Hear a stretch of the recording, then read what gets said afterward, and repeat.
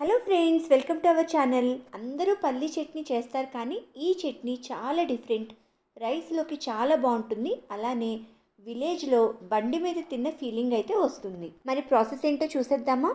ముందుగా ప్యాన్ తీసుకొని one and half cup పల్లీలు యాడ్ చేసి డ్రై రోస్ట్ చేసుకోవాలి. కలర్ మారే వరకు.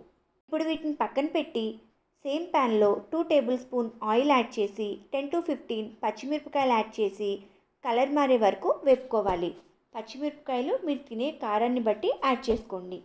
ఇప్పుడు వన్ టేబుల్ స్పూన్ జీరా పావు టేబుల్ స్పూన్ మెంతులు వన్ టేబుల్ స్పూన్ ధనియాలు యాడ్ చేసి ఒక టూ మినిట్స్ మంచి కలర్ వచ్చే వరకు కూడా ఫ్రై చేసుకోవాలి.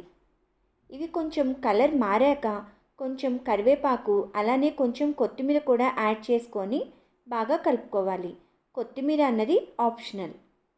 ఒక టూ మినిట్స్ బాగా ఫ్రై అయిన తర్వాత చిన్న ముక్కలుగా కట్ చేసిన వన్ ఆనియన్ అలానే పది వెల్లుల్లి రెబ్బలు వేసి బాగా కలిపి ఒక టూ మినిట్స్ ఫ్రై చేశాక సన్నగా కట్ చేసుకున్న వన్ టమాటో ముక్కలు కూడా యాడ్ చేసి బాగా కలుపుకొని మూత పెట్టి ఒక ఫైవ్ మినిట్స్ మనం ఉడికించుకోవాలి.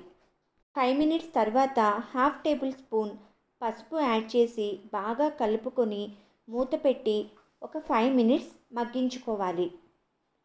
ఫైవ్ మినిట్స్ తర్వాత స్టవ్ ఆఫ్ చేసుకుందాం.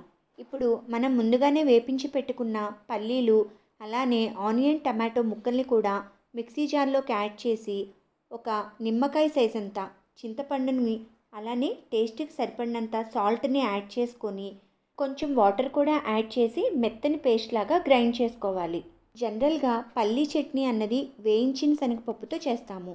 కానీ ఈ ప్రాసెస్లో పల్లీ చట్నీ ట్రై చేయండి. అన్నంలోకి ఇడ్లీలోకి దోశలోకి చాలా బాగుంటుంది. టేస్ట్ కూడా డిఫరెంట్గా ఉంటుంది. Thanks for watching.